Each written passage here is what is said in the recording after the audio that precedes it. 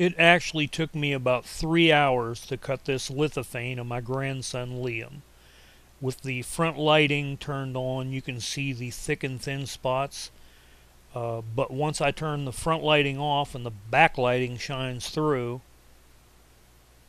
you can see the detail of the photograph. Uh, lithophanes are cool in that aspect because the thinner material shows more light through, the thicker actually cuts the light away. And you wind up with a thick and thin uh, carving that looks very much like a black and white photograph.